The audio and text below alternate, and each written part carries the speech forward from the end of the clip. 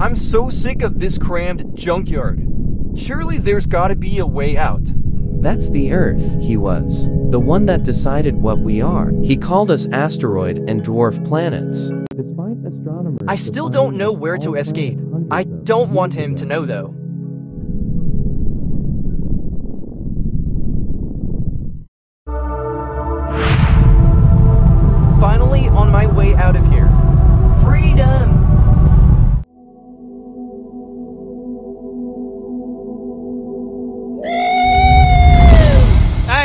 Watch out where you orbit.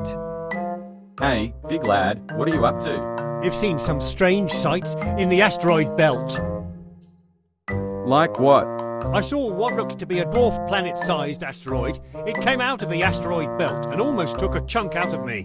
I wouldn't want to enter the asteroid belt. That place is dangerous.